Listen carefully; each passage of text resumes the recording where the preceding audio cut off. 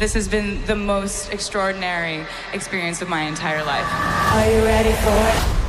I'll be your host this evening. My name is Taylor, and welcome to the Eras Tour.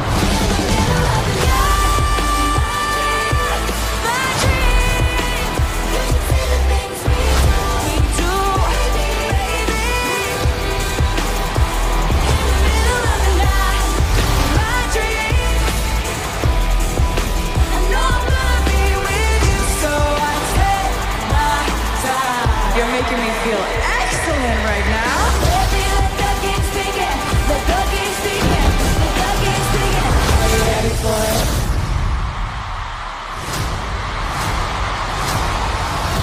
This is one of my favorites.